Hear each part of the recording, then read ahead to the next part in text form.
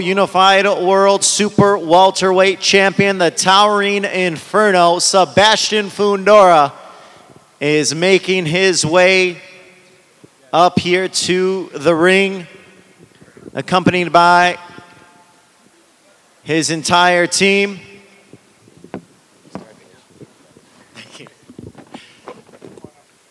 So one more time for the Towering Inferno, Sebastian Fundora. Talk about maximizing the opportunity that is put in front of you. You did not think you would be in a position to be in the main event. And due to circumstances, you decided to take this fight short notice, and you certainly made the most of it. What's the feeling now being a unified 154 pound champion? I feel this was uh, bound to happen. You know, uh, uh, it just came a lot faster than we thought. You know, uh, I have a great team. My father, my promoter Sampson, uh, Al Haymon, PBC, all these guys help guide me to where I want to be, and uh, I'm just extremely grateful and uh, for the opportunity. And thank you to Tim Tszyu for giving it too. All right, ladies and gentlemen, once again, we'll raise your hands and uh, fire away. Hey, uh, Sebastian, how you doing? Uh, this is Najee from Cigar Talk. First of all, congratulations, man. Great fight, uh, extremely great win. Um, uh, yeah. yeah. Um, obviously, Errol came into the ring after, and um, you know he was really adamant about making this his comeback fight. Um, you know, specifically in Dallas. I just wanted to know how do you feel about you know sort of fighting Errol next, and you know going to Dallas. Everybody has goals, you know, in boxing. You know, uh, he's uh, he's a legend right now in this sport, you know, and one of the top fighters. So, you know, uh, I like to get in the ring with him too. You know, it'd be a great fight. You know, he's, uh, uh, uh before that Terrence Crawford fight, he was considered one of the best fighters in the world. So let's do it. Sebastian, Melissa Woods from AAP. Um, can you tell us, well, Tim was just saying he obviously wants a rematch with you.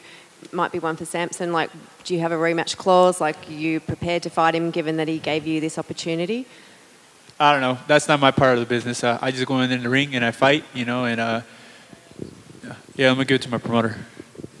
Here, Sampson wants to answer. What was the question? If there was a rematch clause. Yeah, it's a, a verbally a rematch uh, cause, uh, but um, uh, I believe that I'm a promoter. I need to maximize the income of the fighter and uh, most likely uh, he will have uh, to wait on one fight at least, recoup himself, Tszyu, and then maybe we can do it, but definitely it will be in America because it's uh, to be the fight of the year, and maybe we do two times. But first of all, we need to take care of the business. Sebastian, right here, Marcos Hayes with Fight Hub.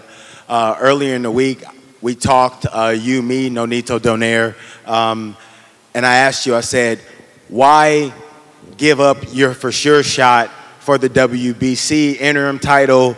and you looked at me and you said, Marcos, it's because I'm ready. I'm ready to push all my chips in and I believe in myself more than I ever have. Talk to us about getting through such a bloody fight tonight and coming out on the winning side this is nothing new to me. Uh, if you've seen my fights before, I know you have. Uh, uh, my fights are always bloody.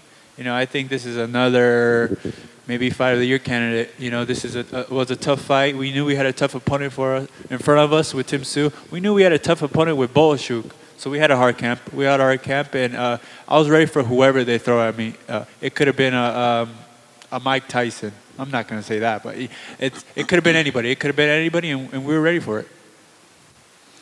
Sebastián Samson, Ernesto Amador de No Puedes Jugar Boxeo. No cabe duda que esta noche se tiene que celebrar seguramente eh, también este campeonato para México, por tu sangre mexicana. La pregunta es para Fundora y para Samson Lukowicz. Felicidades, por cierto.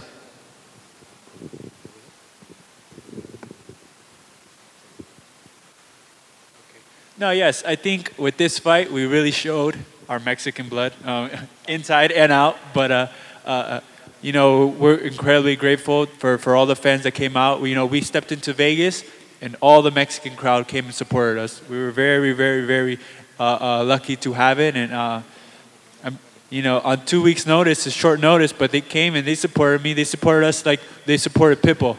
and uh, I'm just happy that uh, all the Mexicans won today, and then uh, let's continue to do it. Thank you so much for watching this video, and make sure to subscribe for more videos of your favorite fighters over here on Fight Hub TV, and give us a follow online as well at Fight Hub TV on Twitter and on Instagram. We appreciate it, guys.